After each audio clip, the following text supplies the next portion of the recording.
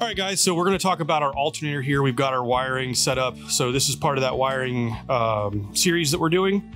Uh, basically, this is a one wire alternator. Uh, we've already got it mounted into the engine. Uh, it's got on the upper bracket, we've got that mounted on there. You've seen that in a previous video. Uh, on the lower side, you've got the lower adjustable bracket, which is going to be down underneath. So you've seen that in a video as well. But this video is going to be talking about how to wire up this alternator and then the voltmeter that's going to come with it that goes in the dash and replaces that amp meter. So let's go ahead and let's get you around so you can see the backside of this alternator and we'll kind of talk about some things. All right, so now that we're the backside of the alternator, you can see one of the first things that we did was we actually took this battery cable, uh, we replaced it where it has a lead coming off of the battery cable in the end because there needs to be a wire that jumps over to that alternator. There's a single post back there. It's the charging wire Basically, that's what's going to charge your battery as you continue to drive it. So this battery cable was changed. So you can see this is going to go back along here to where we've put our solenoid on the firewall and it's going to be mounted on that stud for the power side. So that's going to be the first thing that you have to do. You have to upgrade this to this particular type of battery cable. And then now we'll talk about the wire that's going to lead up to the gauge.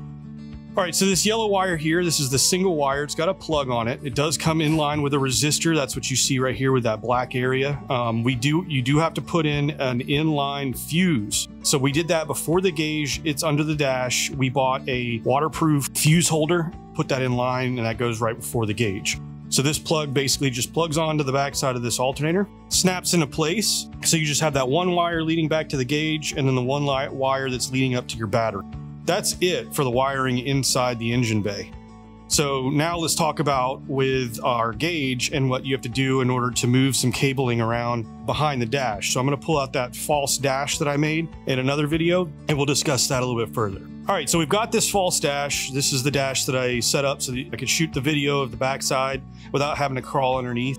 Right here is your amp gauge. As you can see, um, this has got two posts on it, whereas the voltmeter that we send with our alternator kits have blade terminals. It's not a big deal. We do have another gauge that does have posts, so you can kind of keep it a little bit the same. But I do want to talk about a few things. So this is going to be actually your horn wire. It is drawing off of the amp meter, and that's where it's going to get its power to then be able to use the horn.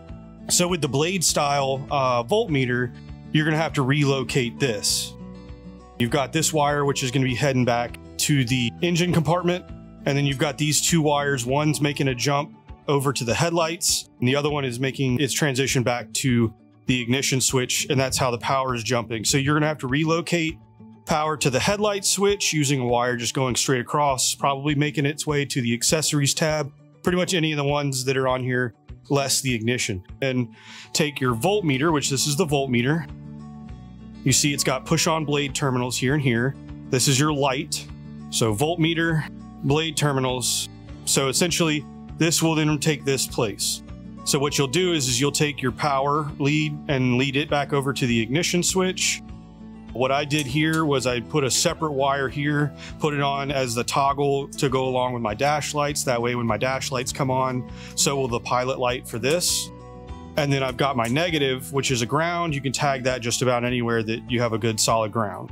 So that's going to be the change there for the gauge in the dash, upgrading from a, an amp meter for 6 volt to a voltmeter for 12 volt. So I hope this helps when it, wiring up your vehicle and making that change from 6 to 12 volt. Uh, it's really easy process. It's not too hard. The harness that we do sell, you may have to alter just a couple things. You got to change these ends out from ring lugs over to some push on blade terminals. And then you may have to change the way that the power jumps from here and then through the headlight switch. Outside of that, pretty simple upgrade. I hope this helps.